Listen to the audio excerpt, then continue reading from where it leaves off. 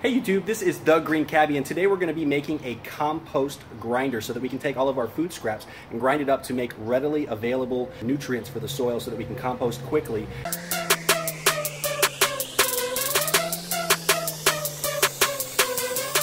Say when you grind your food scraps that you're able to go ahead and turn your food scraps into compost within 9 to 14 days. So we're going to go ahead and start that. We got an old uh, sink here that we went ahead and picked up off of Craigslist for free, stainless steel sink. We went ahead and got a 3 quarter horsepower two-stage grinding InSinkErator and uh, we're going to go ahead and frame it up with some uh, scrap lumber that we had laying around and uh, we'll show you one. Since we're not going to be mounting it to a normal uh, countertop or sink, we're going to go ahead and cut these guys off, like right here.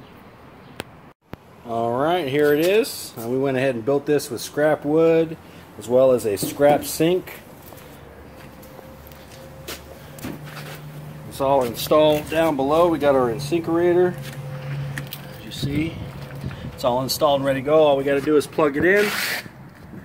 And then whenever we're doing our food scraps, just come up on top, uh, have a little bucket of water, have it go down, and then down here below, we'll have a bucket where the food scraps shoot into and get ready to do our 9 to 14 day compost. All right, we got our little station set up. We got our InSinkErator down here on the bottom, our receptacle bucket to get all of the chopped up food scraps, and then the plug, we're just gonna go ahead and plug it in the outdoor thing.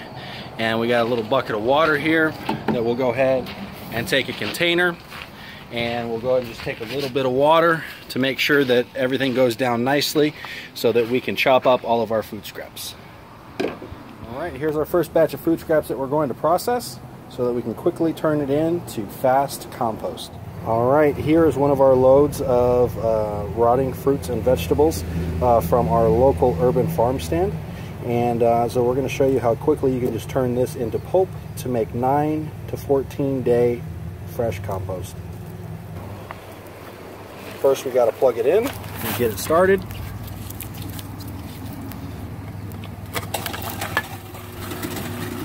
All right going to open up the drain. Put a little bit of water in there.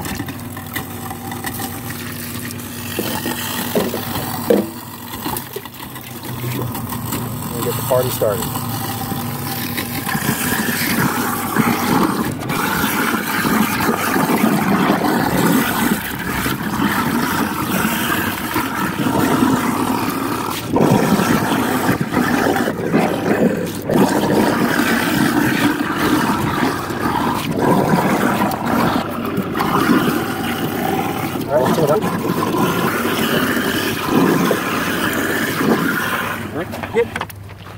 See all of our wonderful waste. All right, here's our first batch, and as you see, it's pulped up really, really good. Great consistency, and it's going to be amazingly easy because it has a much more surface area for the microbes to get in there to break that down and to turn that into rich, wonderful compost. All right, we went ahead and put our pulp in our large compost pile here. We're going to get this started. And uh, what we're going to do is we're going to go ahead and add um, some wood shavings or sawdust. And this is from one of our local cabinet makers.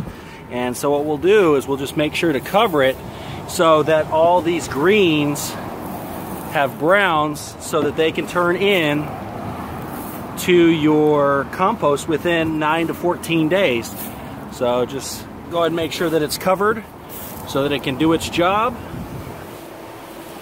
And it's ready to make you some amazing quick compost. Hopefully this video was informative. If it was, please give us a big thumbs up.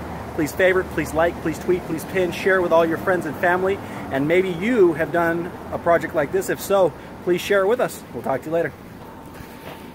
Thanks for joining us today. Subscribe for more videos on organic gardening and green build projects. Check out our organic gardening playlist our Never Leak Rain Barrel, or our Chicken Coop Mansion for $50 or less.